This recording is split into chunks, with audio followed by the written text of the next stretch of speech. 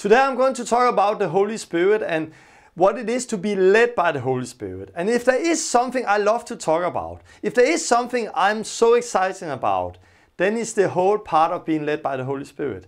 In the book of Acts, in the first church, you saw that the Holy Spirit was an active part of the church. The Holy Spirit was the one who was working in the first disciples. He was leading them. And He wants to be part of our life and our churches today. I heard somebody said that if the Holy Spirit leave the churches today, 90% of all the activities is going to continue like nothing have happened. And I believe there is something about that. And you're going to see that in this teaching where I'm going to share a lot of amazing testimonies of how we can be led by the Holy Spirit today, how God is working by His Spirit. And I'm also going to give you some practical tools you can use in your life so your life can be led by the Holy Spirit exactly as we read in the book of Acts. God bless you.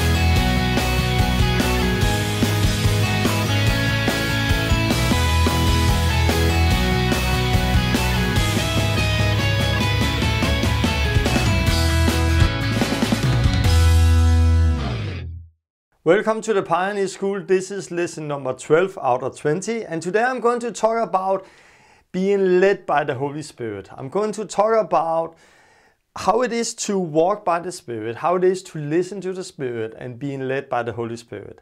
And I love teaching about these things because some years ago, me and my family, we, uh, we got a taste of what God had for us when it comes to being led by the Holy Spirit. And when we tasted that, we just looked at each other and we said, This is what we want. We want this life. Because being led by the Holy Spirit is what it's all about. And it's so much more than just coming in a church on Sunday. And I believe many people have the idea that there is to be led. The Bible said that you can walk by the flesh and you can walk by the Spirit. So, walk by the flesh is living in sin. And we agree in that. But then we think that walk by the Spirit is the opposite of living in sin. Is just don't do sin. So now I'm a nice person, I don't sin, I don't live in sin, and I come to the church on Sunday and I live my everyday life trying to not do a lot of things and come to the church on Sunday. But to be led by the Spirit is much more than just standing still and don't sin and come to the church on Sunday. To be led by the Spirit is to live a supernatural life, is to walk by the Spirit, is to go from one place to another. is not to just stand still and not sin. is to live an exciting life where the Holy Spirit is leading us in everyday life. And you're going to get a taste of that because in this teaching I'm going to come with a lot of amazing testimonies and then in the end, I'm going to give you some practical tools that can help you to come in and walk by the Spirit and live the life. Before I'm going to start, I want to pray and then we are going to take some questions out of the last teaching I've come with. And, um, and then we're going to continue looking at what it is to be led by the Spirit. God, I thank you for this day. I thank you for this teaching. God, I, I pray that you help me to share this word. Pray that it's going to be a revelation for everybody who sees this teaching and it's going to open their eyes. And it's going to help them to come into the life we read in the book of Acts. That they're going to live a life led by the Holy Spirit, our everyday life, God. God, thank you because this is something you have for everybody of us. So help me to share this word and come with your Spirit and open our eyes, God, in the name of Jesus. Amen. Okay, I have been talking about repentance, baptism in water, and baptism with the Holy Spirit. This is part of salvation. Everything is part of getting saved. When Peter stood up and said, Repent, get baptized in water for the remission of your sin, and, get, and you will receive the Holy Spirit. Then he says that this promised promise is for you and your children and everybody God is going to call on. What promise? The promise of the new covenant. The promise that had been spoken by the prophet Joel. The promise that had been spoken for Ezekiel. The promise from Jeremiah. The promise from the old covenant uh, prophet that one day God is going to create a new covenant with his people a covenant where He's going to put a new heart inside of us and give us a new spirit so we may walk in His statutes, so we may walk with Him. And that's promise He said have to do with all of those three things.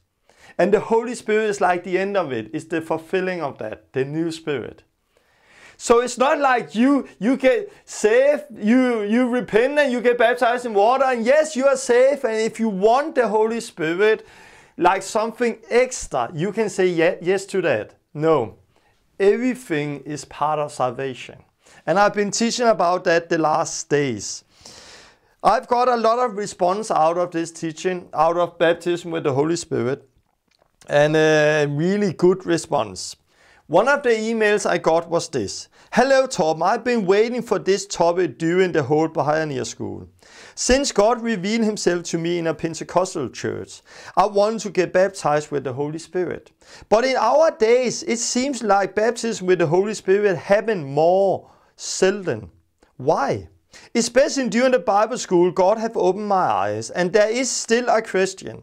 Why is it in the book of Acts it is so simple to get baptized with the Holy Spirit, but now it is so complicated compared to the book of Acts.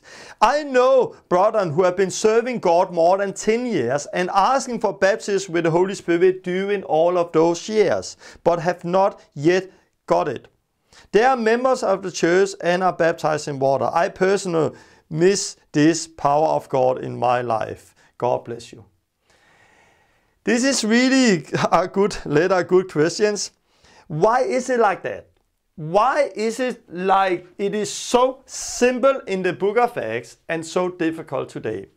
The answer it was what I've been trying to work with during the whole pioneer school. The answer is our religion classes that we have a lot of teaching today that's not built on the word of God, it's built on tradition. We have a lot of wrong doctrines and we have a lot of fears. And at the same time, we build our doctrine on our experience instead of what the word is saying. And this is like I, I, said when it comes to healing, when it comes to every other things I've been looking at during the pioneer school, that we need to come back to the simple life we read in the book of Acts. And we have a lot of theology, a lot of knowledge, but there is not so much life. Why? Because the knowledge complicate things. And example is what we read here. Those people have been praying for God during 10 years and have not received it. And last time I talked about and told about how my wife, when she was 10, 11 years old, she just went in, prayer, simple prayer. God, I pray that you give me the Holy Spirit. And immediately she got baptized with the Holy Spirit. She started to speak in tongues. Prayed one prayer in faith, in a, like a child. We have to be like children. And, and it's not about praying, praying, praying, praying, praying 10 years. It's about simple faith. You don't have to pray 10 years to press through to get it. No. I think those people, what they need instead of just praying and praying and praying, they need discipleship. And they need to get their eyes open and get the wrong doctrine out of their life.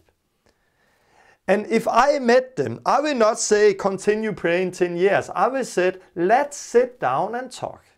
And then let's go through what the word is saying. Have you repented? And it seems like they have. Have you got baptized with water? And they have. And then I talk about baptism with the Holy Spirit. And sit down with them and explain what it's all about.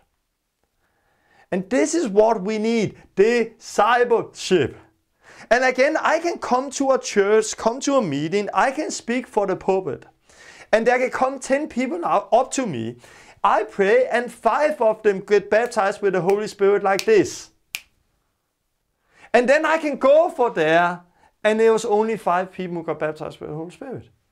Because why did, why did the other five not get baptized with the Holy Spirit? Because it's all about discipleship. It's all about taking people from where they are right now and help them to take the next step. Some of them have maybe not repented. Some have not baptized in water and have something they need to deal with before they can receive it. Some of them just need to get the fear out of their life. And this is what I want. I want us to focus on discipleship. Instead of just having a, me- a meeting, speaking for a pulpit, and then expect everything to happen, then we need to take people from where they are, sit down with them, and go through the word and talk with them. And another lady, she's also she's writing this. Um, I have difficult receiving the Holy Spirit, but I needed to be delivered. And she said that she somebody talked with her and she burned all her old books, a lot of new age stuff she had. And two people prayed and she was delivered. About 15 minutes later, she writes, I was getting in my car and driving home. I started to praise God in English.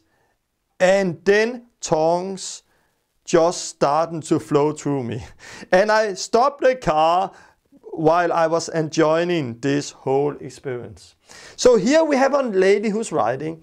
She also didn't receive the Holy Spirit like this, but somebody did discipleship with her. Somebody sat down with her, talked with her, and she got to understand. Still have some books, something she have not turned away from.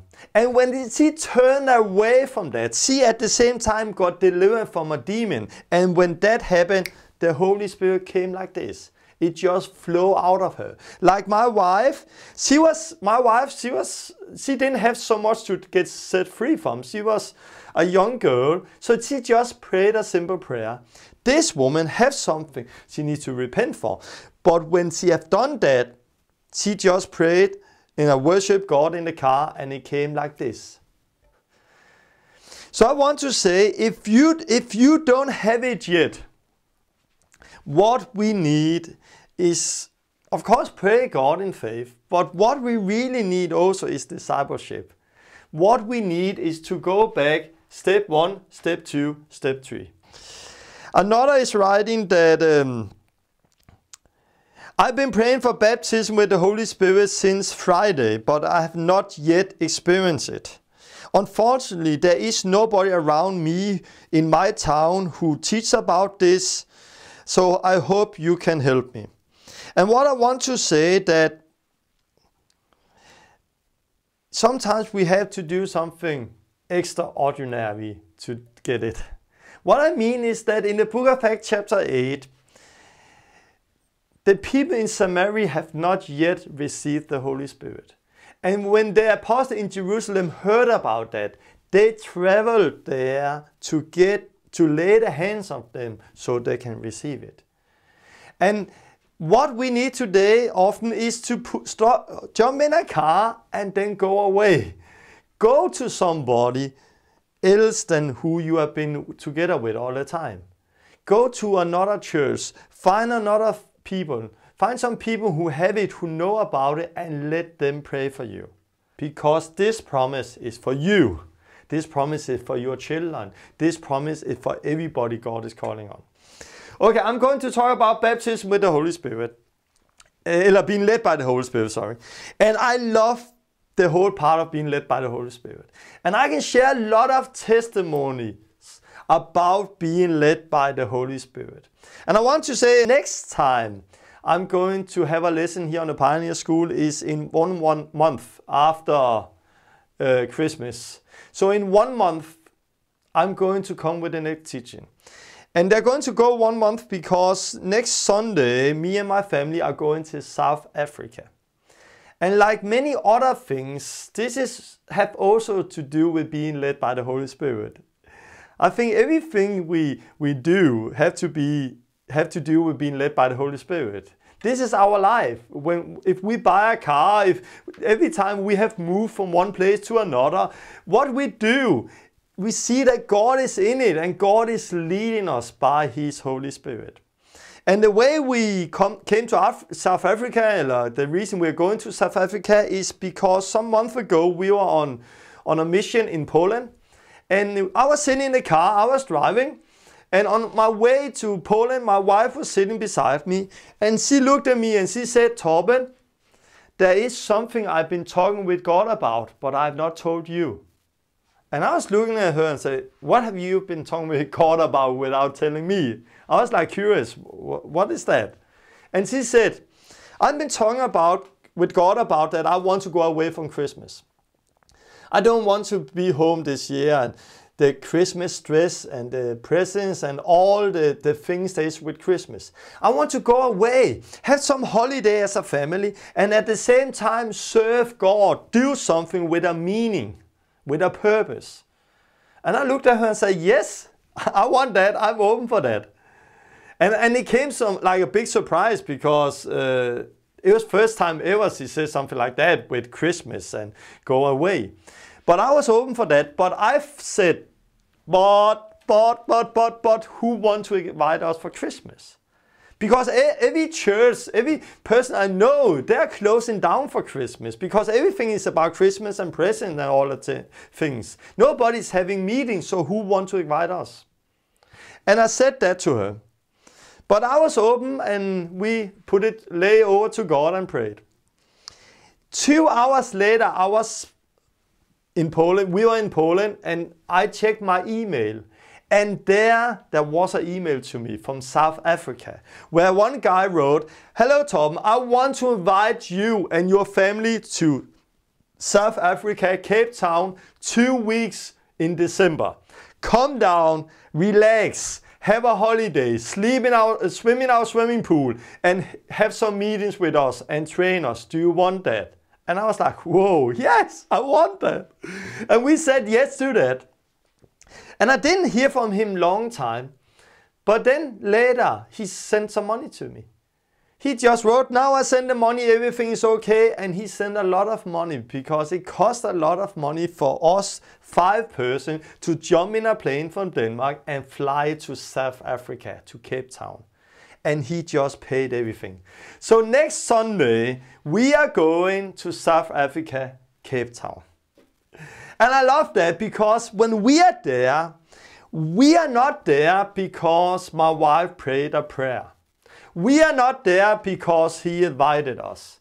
We are not there because he paid for us to come there. We are there because God has sent us. Because my wife prayed, because the Holy Spirit led her to pray this. And we know if we pray according to the will of God, we have already received what we have prayed for. And it was something God put in Lene to pray. God worked in her and she prayed at the same time. God worked in a man in South Africa. We have not seen him yet. And God told him to invite us and he gave us the money so we could come there. And when we are there, we like many other things, we just know we are here. Exactly where we are called to be. Exactly where God wants us to be. Because we are not there out of an accident. We are not there because we choose in our own free will just to go there. We are there because God has led us there. Because the Holy Spirit has sent us. And I have a lot of stories like this, lot of testimonies where you can hear how the Holy Spirit is leading, how the Holy Spirit is working.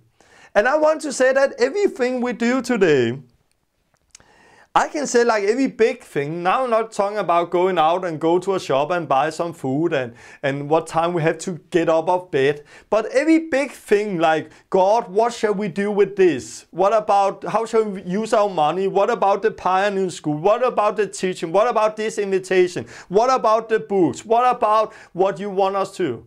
I can say that God is leading by His Spirit.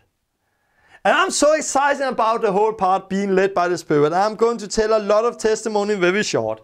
Now we have to continue and we have to do what we always do when, it talk, uh, when we come to theology and teaching. We have to look at Jesus. So I'm going to start with looking at Jesus when it comes to the Holy Spirit. I want to say, of course, the Holy Spirit was a part of Jesus' life from the beginning. He was conceived by the Holy Spirit. So the Holy Spirit was there by the beginning. But at the same time, as I told, Jesus need to get baptized with the Holy Spirit. When John baptized him, the Holy Spirit came over him, and we can read about that in Luke 3. And after Jesus was baptized with the Holy Spirit, we read this in Luke 4. Jesus, full of the Holy Spirit, returned from the Jordan and was led by the Spirit in the wilderness for 40 days being tempted by the devil. So we read here that Jesus, after he got baptized with the Holy Spirit, was full of the Holy Spirit. And when he was full of the Holy Spirit, we read that he was led by the Spirit. And he was led in the wilderness where he was tempted. And I want to say that when you get baptized with the Holy Spirit, there you're going to experience that you are getting full by the Holy Spirit. So baptized in the Holy Spirit is only one things that happen one time in your life. It's when you receive the Holy Spirit.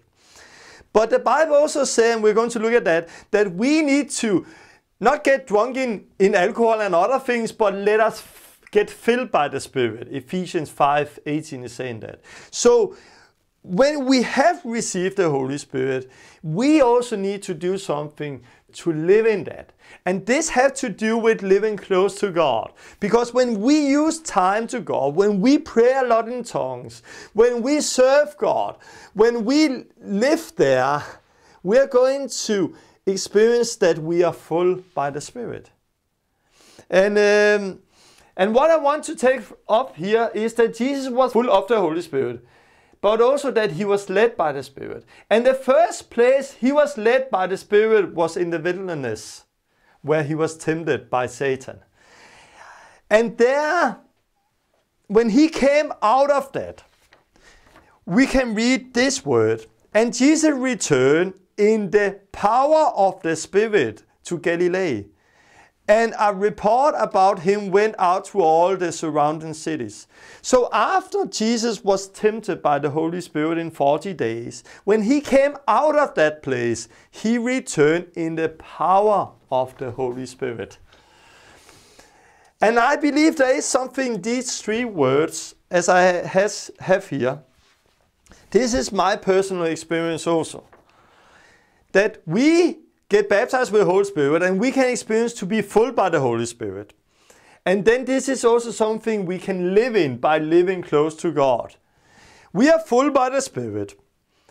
And then when we are full by the Spirit, we can be led by the Holy Spirit. And when we are led by the Holy Spirit, the result of that is that we are walking in the power of the Holy Spirit. So if you want to walk in the power of the Holy Spirit, what you need to is get baptized with the Holy Spirit, or if you are baptized with the Holy Spirit, come close to God. Use time and let the Holy Spirit fill you up from your innermost being is going to come out as living water.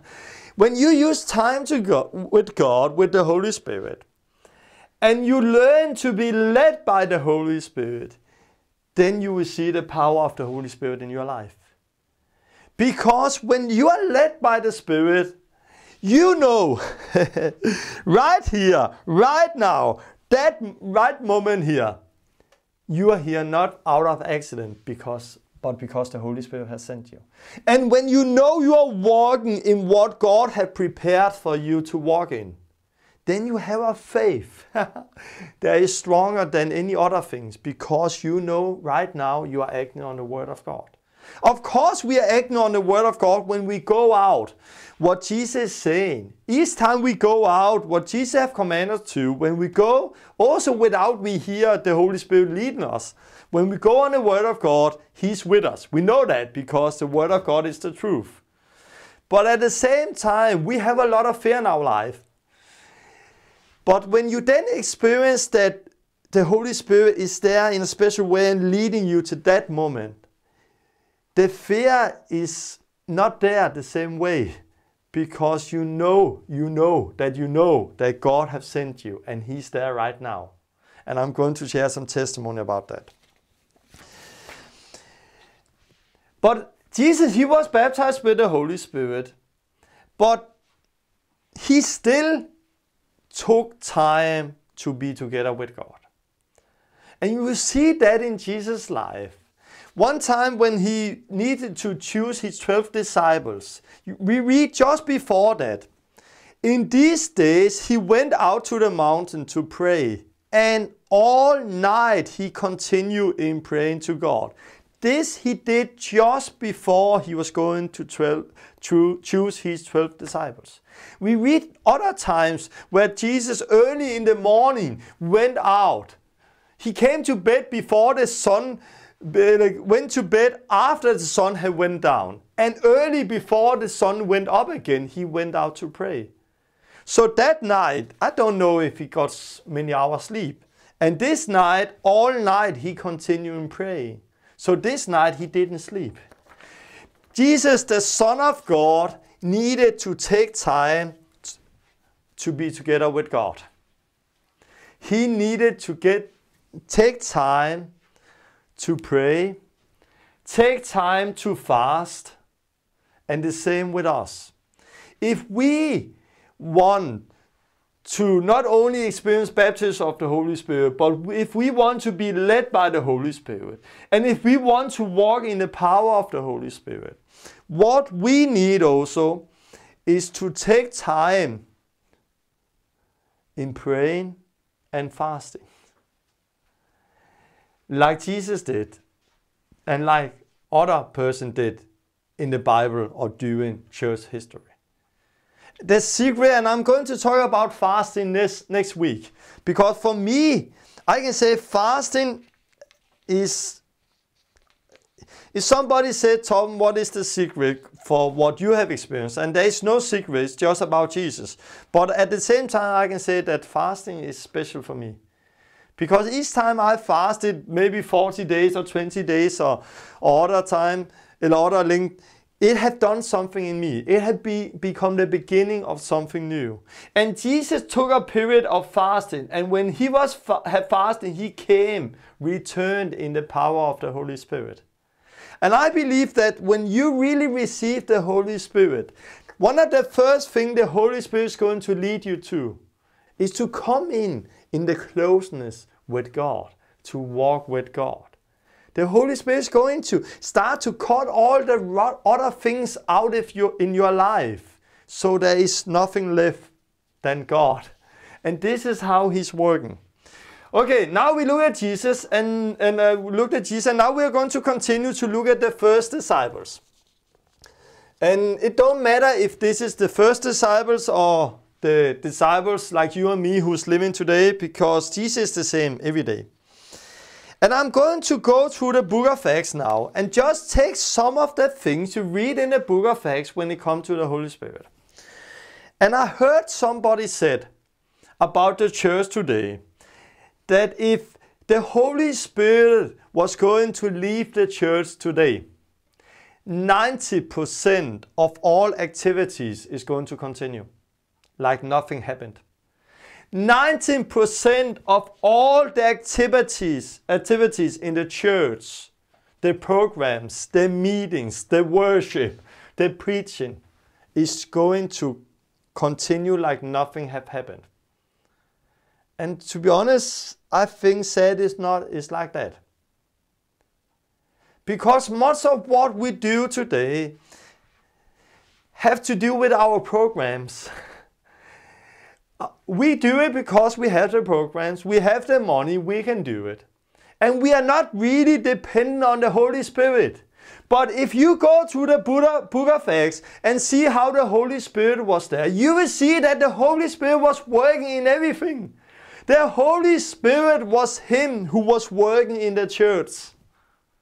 But then during the Catholic Church, a lot of things changed. And one of the things that changed was that the Holy Spirit the Holy Spirit went out. And we got a big system and we are just doing things at the same time and the same time, and this is what we are building on today. But as you're going to see now, in the book of Acts, the Holy Spirit was part of it. The book of Acts, we're going to start here. Book of Acts, chapter 5. We are his witness to those things and so also is the Holy Spirit that God have given to those who obey Him. I want to say that God have given the Holy Spirit to those who obey Him, the Bible says here. But what I want to do say here is, we are His witness, also is the Holy Spirit. So it was not only them who was the witness, the Holy Spirit was also there. And they recognized that they were there, but also that the Holy Spirit was part of that. And we read something like this the Spirit said to Philip. Another place, the Spirit said to Peter. Another place, we read this. As they ministered to the Lord and fasted, so they also did that.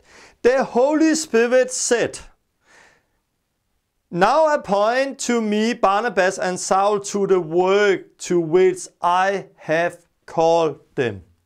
So they were together, they were praying, they were fasting, and the Holy Spirit said, Choose those and those people to the work I have called them.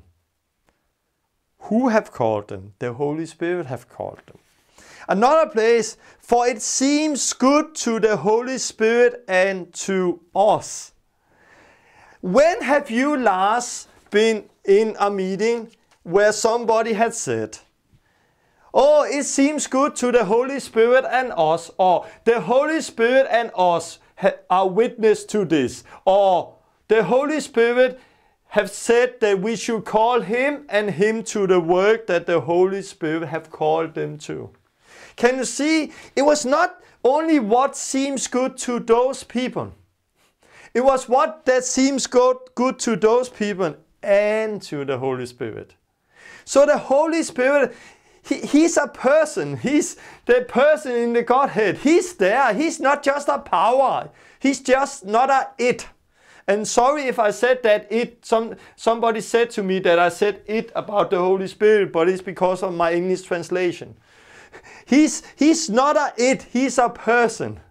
And the first church, they again again said, it seems good to the Holy Spirit and to us. And they said something like this, and they said something like this.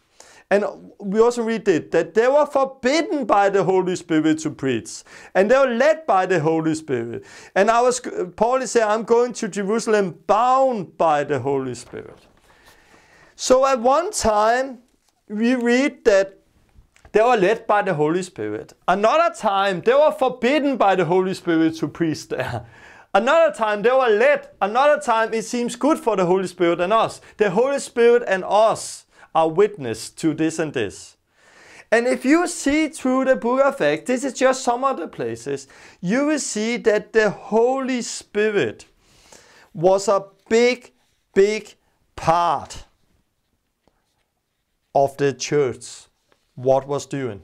It was not just a program, it was just, it was not the, the leader of the church was Jesus Christ, working by his Holy Spirit here on earth. Jesus in heaven, sit, sitting with God's right hand, and the Holy Spirit is here on earth. And he was not just a power, sorry, just a power to heal the sick out on the street. No, it was him who was leading the things who was organizing, who was saying where to go, who to point out, where to not go. Stop here, go there, choose them, choose them. Do like this, do like this. It was not just leadership who sit down and okay, what shall we do? I think we should do like this uh, because I think it's a good idea. What about God? And for me, we can today experience the same with the Holy Spirit that He's leading us. And I want to say one more thing because in the book of Acts, chapter 6, they were going to choose some man who was going to help with the tables and other things so the apostle could take time with the word and praying. And you read that uh, they said, Pick up seven men of good repute, full of the Spirit and wisdom, who will be appointed to this duty.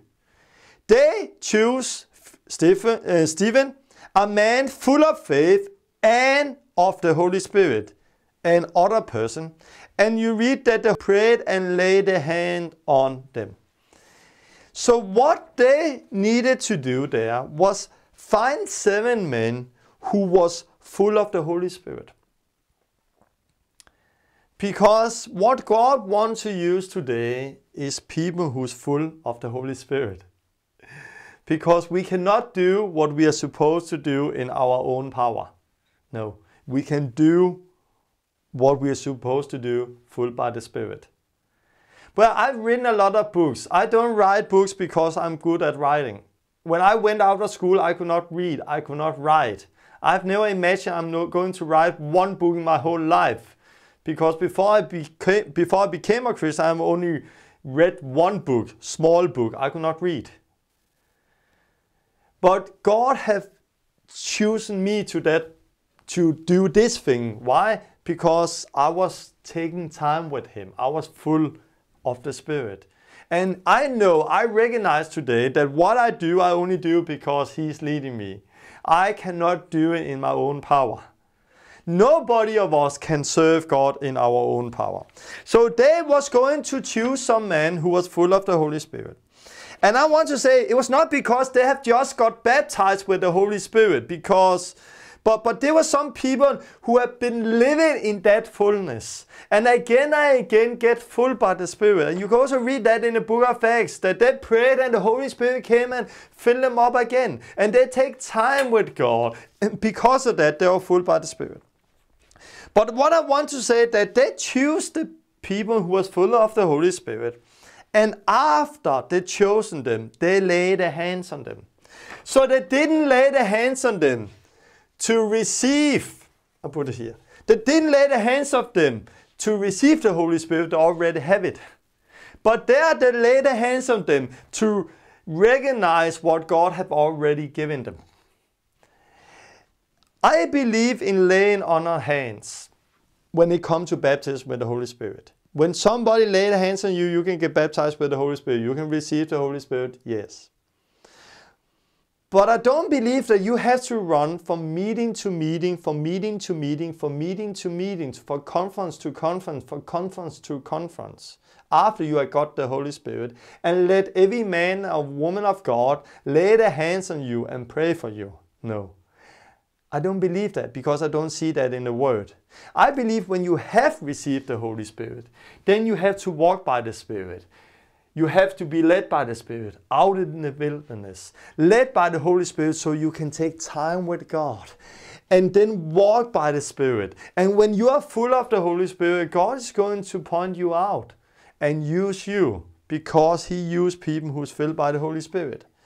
And that being full by the Holy Spirit It's not coming by just going from meetings to meetings. No. It's coming by praying a price. It's coming by taking time to see God. And I'm going to share some testimonies now. And my testimonies here about being led by the Holy Spirit is not something that came like this in two seconds because I just, hey, I want that. And it didn't come because I went to a conference and somebody prayed for me and got a special anointing. No. I got the Holy Spirit like you and every other person who have the Holy Spirit. It comes by taking time to seek God, taking time to listen, being led by the Holy Spirit in the small things so God can put us over more and more. Okay. They were led by the Holy Spirit, the Holy Spirit was working. Now to my life. Some years ago, I was out camping and uh, like every other thing, I prayed. And praying is more than just God, do like this. Praying is alive. It's fellowship. Fellowship with God. For many people, praying is like what I'm going to say now. I'm married to my wife. Try to imagine I have a small room and I put my wife in the room. And 20 minutes each day, I open the room, I go in, close the door, sit down with my wife, and then I just talk 20 minutes. Bum, bum, bum, everything that's happened. 20 minutes, thank you, go out, close the door again. The day after, open the door, go into my wife, close the door, talk 20 minutes, and then I go out again. One day she's knocking the door, I open the door and, and she said, I have something to say. Not, not now, tomorrow. And I close the door and the day after I sit down, I just talk 20 minutes, thank you, and I go out. And she said, I have something to say. Not now, not now. What marriage relationship is that? It's not a marriage. No. Because I cannot put my wife in a room and just use 20 minutes with her every day when it suits me. No. My wife need to talk to me also. It's not only me who need to talk to her. She also have something on her heart she want to tell me.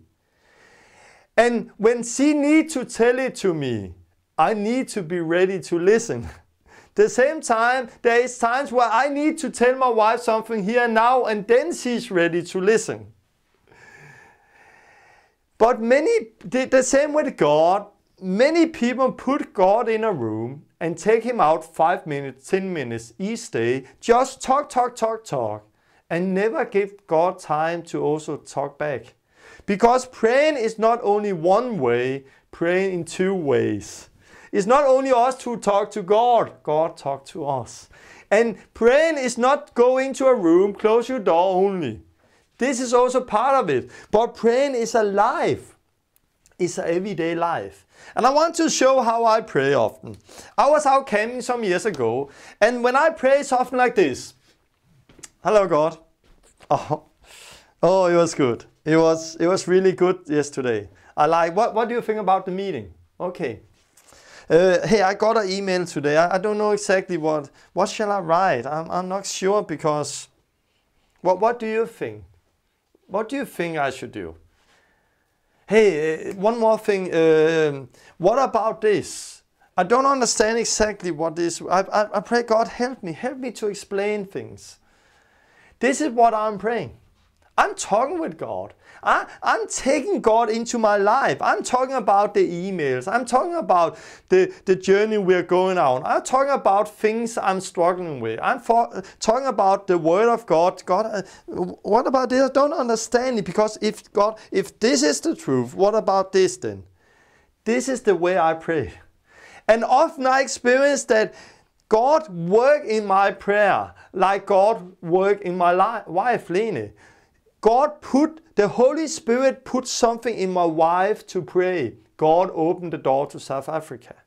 And I opened the door so we can go away for Christmas. It was the Holy Spirit in my wife. And when I was praying some years ago, I was walking prayer, I spirit, the Holy Spirit spoke to my heart. And it came very clear, Torben, pray for open door to TV so you can go against Evolution and Darwin. And it was like, what? But okay, pray for open door to TV. It just came to me like out of nothing. It, it just came. The Holy Spirit put it in me. So I was like, okay. So I was walking, God, I thank you for open door to TV, God. God, I pray that you are going to open the door to TV, God, so I can go against evolution and Darwin, God. God, let, let the lies of Darwin fall down in our country. It was my praying. And I prayed that the next day. I was out walking and I prayed the same. God, I thank you for open door to TV, God. I pray that you open the door to TV so I can go against evolution and Darwin. And while I was walking praying that, I saw a man there where we are out camping. And when I saw him, it was like, oh, this is this is this man. It was a famous stand-up comedian. One I've seen on TV and TV program and commercials. And this stand-up comedian, you know, like many other stand-up comedian, is not the most holy word they're speaking. And, and also with him, it was not the holy word he was speaking. He was making fun with the Christian. He was cursing all the time. And I saw him there. And when I saw him, my heart started to jump. Oh, oh. And I just felt this is God. So I went to him. And when I went to him to talk with him, just one meter before I was there, he turned his face and I saw him in front. And oh, it's not him. And I was like, whoa, it's not him. It's just one who looked like him. And there God spoke to me. God spoke, say, pray for this guy. And his name is Simon Jul.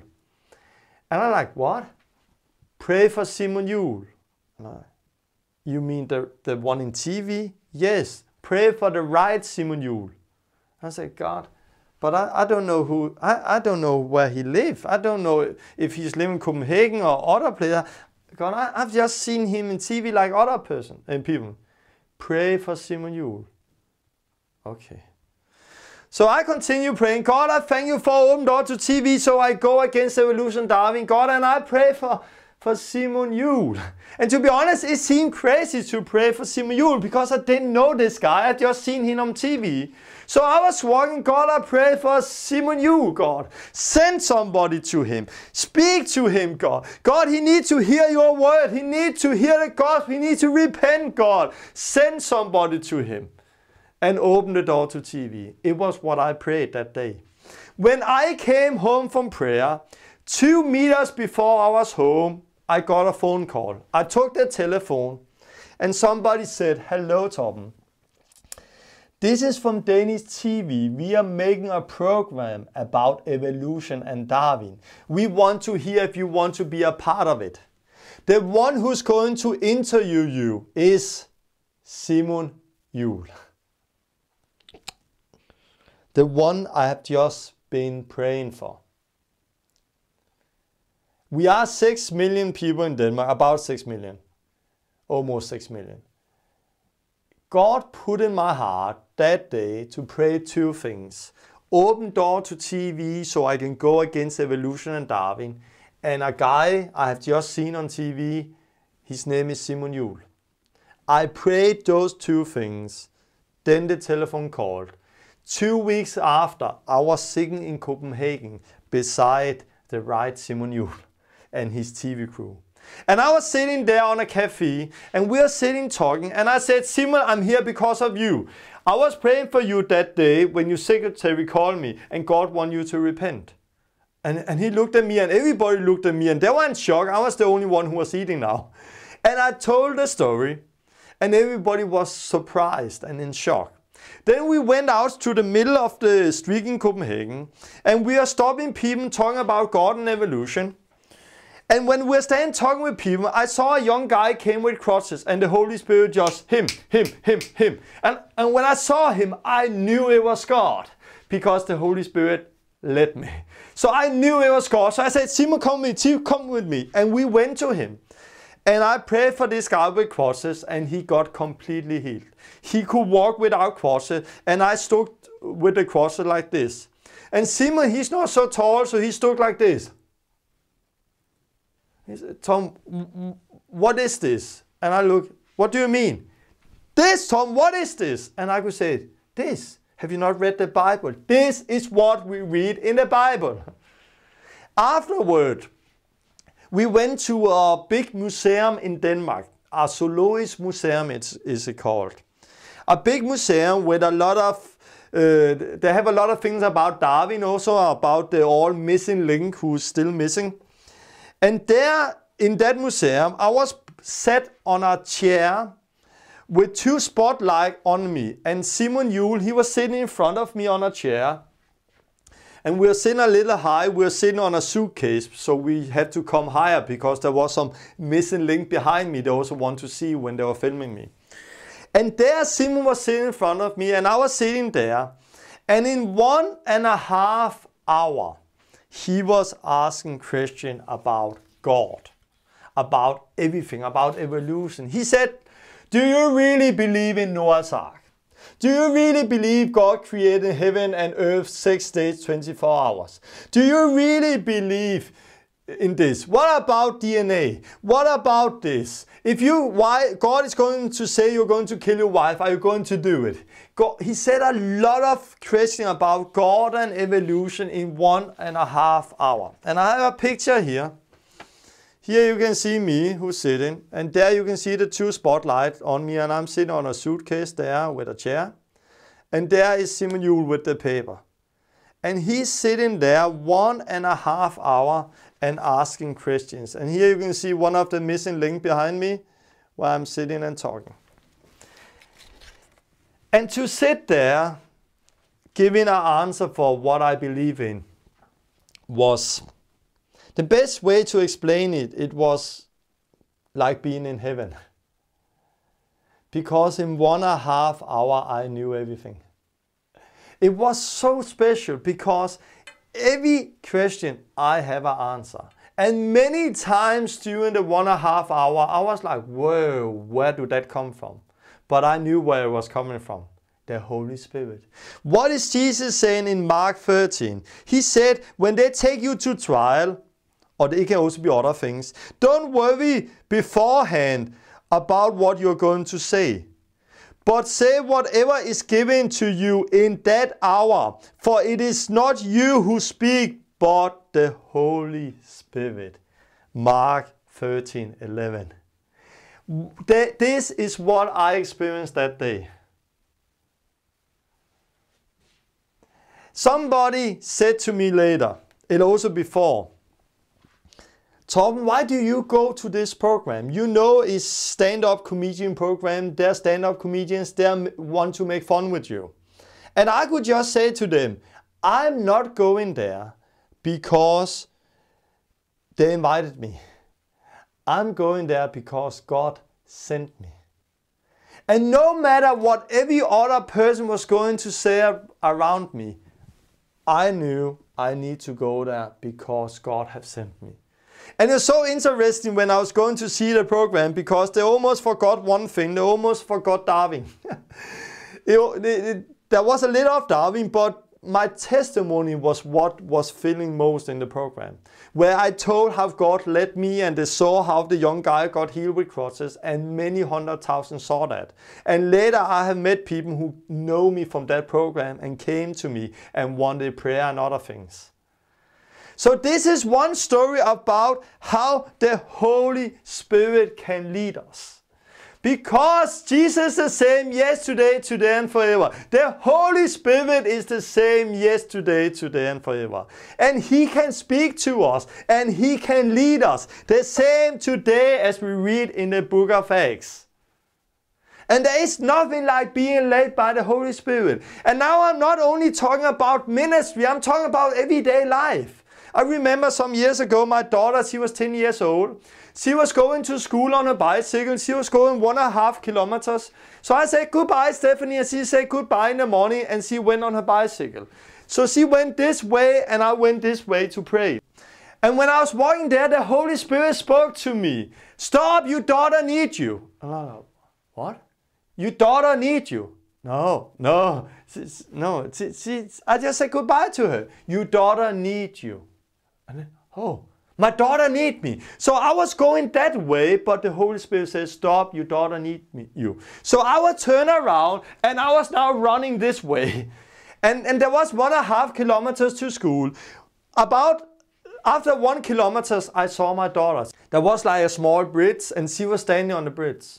And I came there and she was standing beside her bicycle and crying. And I said, hello, Stephanie. And she looked at me and she, the first thing she said was like, Father, what are you doing here? And I could then said, God said that you need me and now, now I'm here. And it was really strong for her because she saw me go that way. And suddenly I was standing beside her and could say that God told me, the Holy Spirit told me that you need me and now I'm here and he, she has some problem with the bicycle and I could help her go back. Other times, I tried many times where I was going to open the, the mailbox and before I put the key in, the Holy Spirit said there is something here you don't like, but no problem. I, I have everything in control. And I'm like, whoa. And before I open the mailbox, I'm like, what is that? And I open. And there, there was something I didn't like. One time there was like a, a bill for because we got some money from the uh, the states here in Denmark with a house we had, and there was a bill that we had to pay a lot of money back, and we didn't have that. And I'm like, oh no, but hey, God is in control. The Holy Spirit have warned me beforehand. So I just contact them and say, can you just check it one more time? And they say, yeah, we just check it and then we can come back to you. And this is now six years ago. And I've not heard anything and I've never paid the money. So the Holy Spirit can lead us in everyday life. And, and this is the life we are called to, each of us. One more story. I want to share some testimonies to, to know how it's working. One more story. Uh, some years ago, I was out in evangelizing and I stood talking with a three, four young person. And there was a young guy who came there and stood beside when I was sharing the gospel. And when he came, the Holy Spirit said to me, You're going to be his father. And I was like, What? What? And, and it came as a total surprise for me. And I looked at him and, and I was like, Whoa. And then he left again. and I continued talking, and then he came back again. And while I was finished talking, I said, Okay, anybody here who's sick? And that young guy said yes. And he took his trousers off. He had a lot of bandage, bandage on his knee. And he said, yes, today I fall on my scooter. And I have a lot of pain. I cannot bend my, bend my leg. I cannot walk. I said, look here. And I prayed for this guy. And he took the bandage off. And he was surprised. He took the plaster off. And he was standing like this. And the tears was coming out. And he said, no more pain. And I said, come with me. And I took him. And I didn't know this guy. And the first thing I said was, tell me about your parents. And he was so surprised. So he said like, okay, uh, my, my father is died, have died, and my mother is very sick. She's going to die. And I can say, I've never seen you before. But when you came, God spoke to me that I was going to be a father for you. I'm going to help you. And he was so surprised. I was also surprised. And then I got his phone number and we was writing a little to each other, but he, he have only met me and it was so strong experience, so, so he was little afraid to meet me again. But two weeks later, there came some people to me who was going to uh, become journalists. So they were studying to become a journalist. And they came to me and they want to interview me. And we are sitting on Burger King and talking and they were interviewing me. And, and then one of them said, hey, I have a camera with me. I want to, we want to go with you and see what you're doing on the street. Can we do that now? And I'm like, now? And I didn't know that. And to be honest, I didn't want it to do that. I wanted to go home and relax because I was tired. But because he said that, and I was like, okay, shall I? Okay, okay, let's go let's go to the city. So I jumped in the car and I went to the city. On my way to the city, I was sitting in the car and there I was praying and I felt like the Holy Spirit spoke to me. I, I felt like I, I look at my hands and I said, God, I pray right now, hand. Yeah, hand in bandits. God send somebody, send somebody to the street right now, God, who have the hand in bandits, who's going to get healed, God. Thank you because it's going to be a testimony for those people in the name of Jesus. And it was what I prayed. We came to the street. I was walking there. We didn't find anybody right there who wanted to talk with us. And then I saw the young guy I met two weeks before, the guy God told me to be his father. I saw him say, Hey, how are you? He said, Hey, I'm fine. And then I saw he had bandages on that hand. And said, What is wrong with you? I don't know. It was yesterday. I got a lot of pain and, and, and, and it hurts. Hey, I have some journalists, uh, people who starting to become journalists. They, they don't believe in this. Can I pray for you? Yes, you can do that. It's okay, they're filming and you can say what happened two weeks before. Yeah. So they were filming him in the middle of the street and he was telling them how he met me two weeks before, how he got healed with the knee. And then I prayed for him. And this time the band is one more time, not the knee, but the hand. And then tears in his eyes again and he said, it's gone. And it was really an eye opener for them, and it was really strong for him. And then he was ready to meet me. And we talked again, and we uh, talked that we are going to meet later. And then what happened was I met somebody the day after a Christian and I just told the story of what God had done and how God had led me to this boy. And then he came to me and said, Tom, I feel like the Holy Spirit is saying to me, I should give you 200 uh, dollars. This is for you and your son. And he gave me $200. I said, thank you, thank you. So I called this young boy and said, hey, I want to invite you out to eat. And he said, okay, let's go out. And I met with him now and I had the money, so we were out eating. And then he said, Tom, there's something I want to say to you, something special. Do you remember the day you meet, met me in the street when you prayed for my hand? I never go to the street. It was first time that day after school I went through the city. But I was on my way home, but I felt there was something inside of me who said that I have to go to the city. And there I met you. Can you see it? In that moment, I was praying in the car, God sent somebody with hand in the bandage. God led me to pray that because he know that this guy, young guy, had the hand in the bandage. And God spoke to him, go in the street and we meet each other. And he got healed. And I got in contact with him. Two days later, he called me, Tom, I have problem. My scooter have just broken down and I got a new job and I cannot go, come to work because I don't have any scooter. But because I got the money, I came and he, I paid and it cost exactly what I got. And I could pay for his scooter and he went to job. So everything is, God is working. And this is what I like when it comes to being led by the Holy Spirit because I make, meet many people who's very skeptics, atheists, who's skeptics when it comes to God. And when we talk about healing, they're also very skeptical. Oh, no, no, no. And this is just something in the mind. They cannot. And, and they don't believe in it. Because that thing is something just in the mind. But when I start to talk, tell testimony about being led by the Holy Spirit, everybody's closing their mouth and everybody's surprised. Because it's not something I can just imagine in my mind because God can speak to me. But before things happen, God speak, had to speak to this person and this person and this person, and everything had to go like this. And this is what I like. And I've seen skeptics, non-believers after, there are many skeptics non-believer who is getting their mouth closed when I start to tell about our everyday life with the Holy Spirit. And this life is not only for me, this is for you. Because Jesus said we have to get born again by the Holy Spirit, not born of water, but of water and spirit. He's talking about repentance, baptism, water, and the Holy Spirit.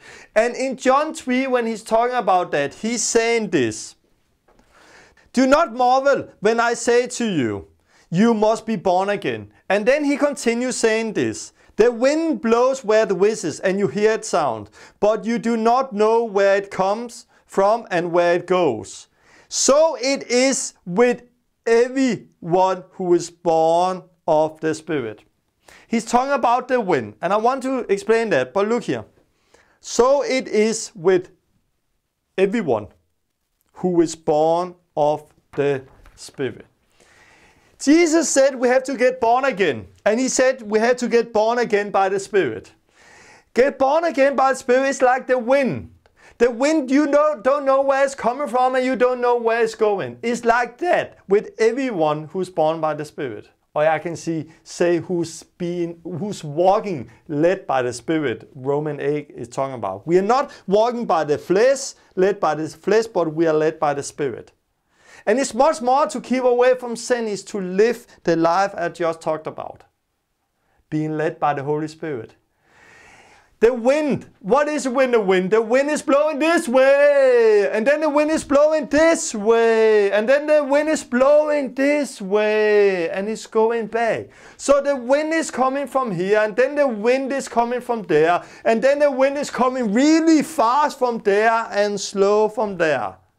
The same is it with being led by the Spirit. God said, pray for Simon Jul, go to Copenhagen. God said, your daughter need you, go back. God said, pray for this man with the hand in the, the guy with the hand there. And God said, God said to my wife, pray for open and uh, pray for uh, something in December. Go away and God talked to somebody in South Africa. and Now we're going there. Can see this like the wind. We don't know every day where is we're going. We just know that the Holy Spirit is leading us. One day he said this way, then he said this way, then he said this way.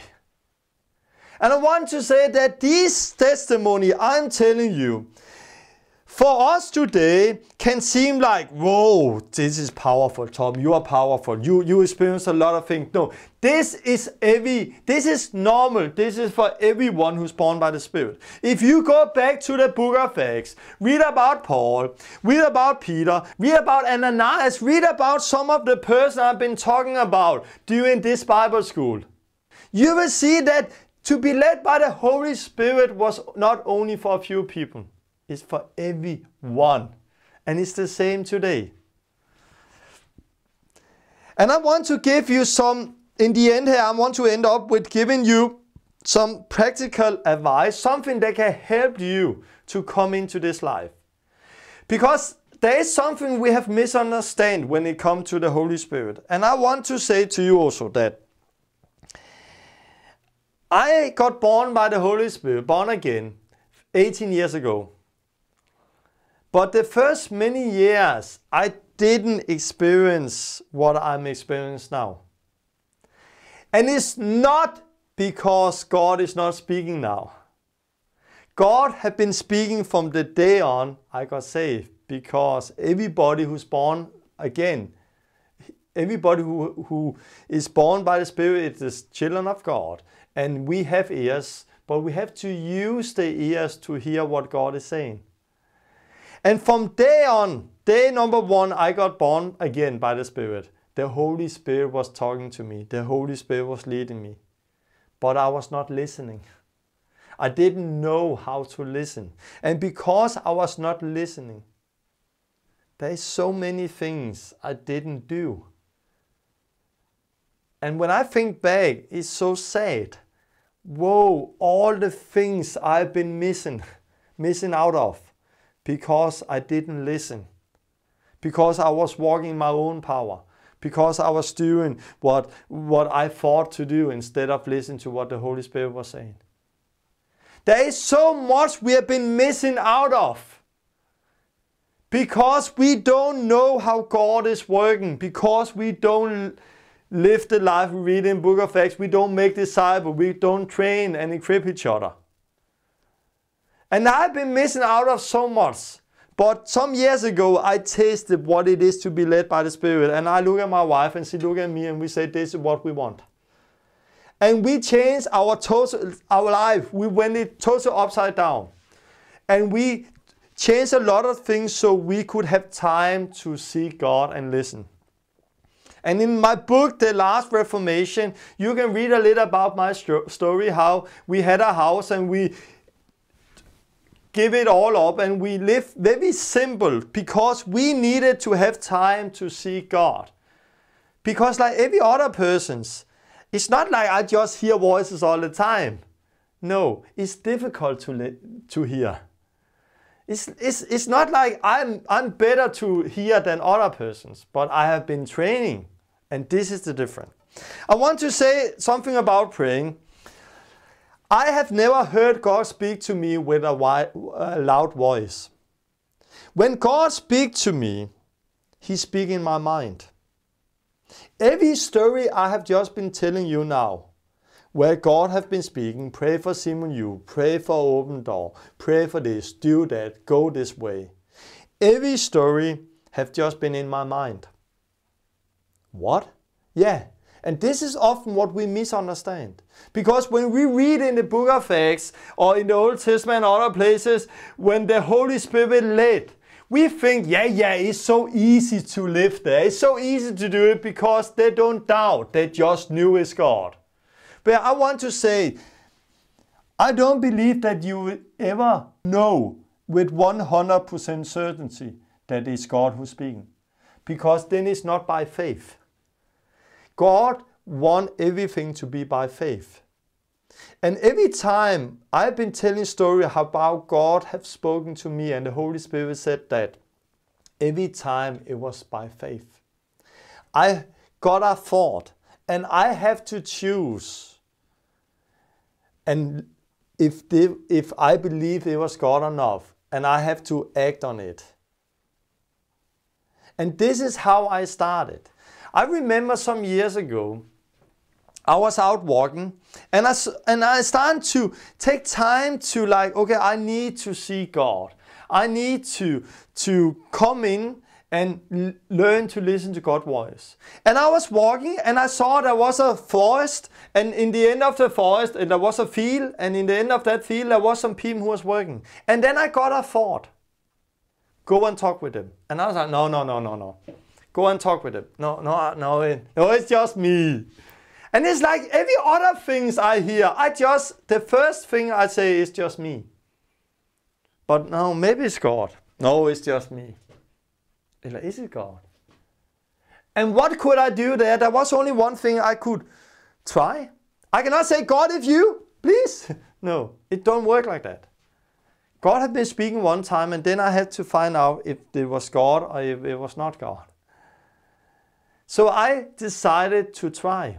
So I went there and I was really nervous and I say, excuse me, excuse me. And I, can I talk with you 10 minutes? There was some people sitting and eating who was working in the forest in the five minutes. And I just shared a testimony said, thank you. And then I went. I was so afraid. And when I went for there, I said to myself, oh, it was just me because nothing supernatural experience. It happened. But I thought it was just me. But what happened was one week later, there came a girl and said, hey, hey, can I say thank you, thank you? And I said, thank you for what? My brother is a falling away Christian. He was working in a forest. And someday you came and talked to him and now we have come back to God. And I was like, whoa, nice. So I thought it was me, but when I heard she says that, said that, I suddenly knew it was God. And then later I experienced something similar. And because I had the experience for last time, I could like, okay. And it helped me to tune in, to recognize, is this thought from, for me or is it for God? Eller for example, if my wife is calling me from another telephone, I take the telephone, she can say hello, and I say, hey, hey Lene, why are you calling for this number? I don't know. Whose telephone is that? Because I have spent a lot of time with my wife and I know her voice. But if other people are calling and say, hello, it's me, and I say, uh, who is you? Because I don't recognize their voice. The same way with God, if we want to get better to recognize His voice, we have to be quiet and we have to listen. And also take some chances, because if you get a thought, you have to try, it. God, is that you or is it me? Because God for me is not speaking loud like this. God is not speaking loud like this. God is speaking to my head with a small thought. But the way I recognize is that, hey, where did that come from? Why do I just think? It's not like I'm sitting and focus and thinking. This is like wrong. We, we don't have to use our mind to get it. No, we have to worship God. We have to focus on Him. And then suddenly there came a thought. Hey, God, this is you. So we have to practice. This is discipleship again again. It's all about discipleship. You start where you are and then you practice and you become better and better and better and better to listen to God, to do other things. But at the same time, it always takes faith. You have always have to believe and take a step by faith.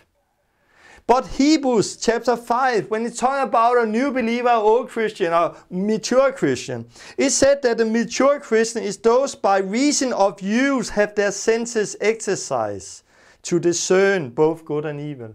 So you get your senses exercise, exercise by reason of use. You use it again and again. So we need to exercise our senses so we can concern what is from God and what is not from God. It's so simple like this. And it's like when Jesus is talking about praying in Matthew, he said, But when you pray, go into a room and shut the door and pray to your Father who's in the secret. And your Father who sees in the secret will reward you. What I want to say here, pray to your Father who's in the secret. God is not like taking God, sit him on a chair, sit down with him, say, God, what about this? Okay, what about this? What about this? We are not talking to God like one man talk to another man. It's not like that. It's by the Holy Spirit. And the way we learn is by exercising, using what God have given us like I did. I got a small thought, is that God or is it not God? Then I try and know it was not God. Then another time, yes, it was God. Yes, it was God. Yes, it was God. And then I, I learned, and after time, it became easier for me, and it is easier to recognize what is God and what is not God. And want to say that God speaks to our mind, but at the same time, I want to say that Satan can also speak to our mind. That's why we need to try everything by the word of God. If God say, if you get like, go and pray for him, go and do something good, you can do it without a problem and try. But of course, if you hear something bad, don't do it. And go to the word of God and always get things confirmed by the word of God and by the spirit inside of you, the peace, do you like, okay, is that a good thing or is it not a good thing? Because every good thing is coming down for God. So I want to say that. And it's not like we, we have to, to I, I don't be, believe that we have to like, okay, talk, uh, stop, uh, speak God, speak God, speak God and do things. Because then your mind is going around. No, just take time. Use on God. Talk with Him. Be together with Him. Focus on Him. Thank Jesus. And then a good thing, I believe, if you really want to come in to be led by the Spirit and know what God is saying, is throw your TV out. It has helped me a lot, to be honest. Throw it, if you are watching TV more than one or two hours or sitting every day, throw it out. If you are listening to radio the whole day, throw it out. When you are listening to music the whole day, throw it out. Why? Because if you are seeing TV or music and radio, when you go from there, the last thing you hear is still going into your mind, spinning. You still hear the last song, you still hear what they've been talking about. And that, together with you talk with people, you have a lot of voices a lot of activity in your mind. And because you have a lot of things in your mind, it's not easy to say what is God and what is all the rest. So we need to get rid of many of those things and learn something we don't like in the West is to be quiet. Learn to just listen. Learn to just take time and just be quiet with God. Just talk with Him. Don't have a lot of things happen all the time. Take time. Take time. It's all about taking time. But Jesus, He was led by the Holy Spirit in the wilderness for 40 days. And then He came out in the power of the Holy Spirit. 40 days. Yeah, but I don't have time for that. I want to say that everybody of us have the same time 24 hours. It's all about what we choose with our time. Some years ago, I said some years ago, we had a house, we have a car, we, I was working a lot, I was doing a lot of things. But then I tasted what it is to be led by the Holy Spirit. I got an experience and I said, this is what I want. I want this life. And because I was, I wanted that life so much, I changed a lot of physical things around me who helped me to get more time. And one time we had been living in a big house, have to earn a lot of money. Later we was just living in a small basement with three kids. But because we changed everything, we got more time. Time to be quiet, time to seek God. And everything I experience is have not come for free. It don't come like this. It's not like you live like every other person and then you experience a lot of other strong things. No. You get what you pay for. You do. We choose what do we want. I have fasted 40 days many times. I have taken time to God. I have I walk often a lot. Just pray. Because like every other person, it's not easy for me to hear God speak. But because I have taken time to exercise concerning what is good and evil, it had become so much easier for me now. But I still need to learn, and I'm learning every day. So this, what I've been teaching about here, is that we get baptized with the Holy Spirit, but we need to be full by the Spirit. We need to live in that fullness by taking time to God. And then we need to be led by the Spirit. We need to have time to be led by the Spirit, to listen. We need to also move. We need to take some chances and learn by using, by exercising. And when we do that, we are going to walk in the power of the Holy Spirit. And uh, as you see, the Holy Spirit was part of the church. The first church and the Holy Spirit is part of the church today because He's the same. And this is for everyone. This is for you, this is for me, this is for everyone. So I hope you got something out of this teaching. And I want to encourage you take time. Take time to just be together with God. Take the, the other things that's disturbing you all the sound in your head, all the things, just take time, throw it out. Take some fasting where it's you and God together and just reading the word and just praying. Word and praying and you and Him. And then you will see that God is starting to speak to you clear and you take some step in faith and you recognize, oh, it seems when God was speaking, it seems like that. And next time yeah, it's God again, and next time, and next time. And then we can start to live the fellowship where God put something in our heart and we prayed and it happened. And God put something and we pray and happen. It's all about the will of God. I don't say like, we go to South Africa because God put it in my wife's heart to pray this, these things. It's not like, oh, we just pray because my flesh want it. Oh, I want to go on holiday and just want to have a new car and I want to have that. I don't believe in that. I believe when we pray according to the will of God, then we know that we already received what we prayed for. But we have to know what the will of God is. And that's come by work, living with God. And next time, after the break, after the break here, where we're going to South Africa, I'm going to talk about fasting. And this is an important message. I'm going to talk about fasting and, and giving you some tools about fasting. And if you have question out of this teaching, come with it and I'm going to start with that next time. And then after fasting, I'm going to continue uh, Luke 10 and other places in the Bible. So God bless you. In the end, Lene is going to sing one of Lene's songs. And you heard it before, but just let the word speak to you out of this message because it's your life and many things. I know it's radical, but how much have God been speaking to you the last years, but you have not been able to listen? And because you have not been listening, you have not received what He have, have for you. The testimonies you have lost, the experience you have not got. Where God have so much more for each of us. And the first many years I was Christian, I didn't see this life. But then I tasted a little of it and I said, this is what I want.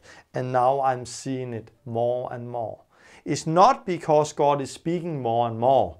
It's because I'm getting better to listen. I'm getting better to act on what He's given me. And I believe if you act in faith, God is not going to look at you and say, Hey, what did you do? It was not me who's speaking. No, he will say, Look at this sky, look at this girl, look at this woman. And then He will help you so you can recognize the voice of God. So don't be afraid. Start to do something. Ask God every morning also, God, help me today. Give me something. Talk to me. I want to be open. And then take some step in faith. At the same time, see God. Okay, my wife is going to sing and look forward to next time where I'm going to talk about fasting. Bye bye.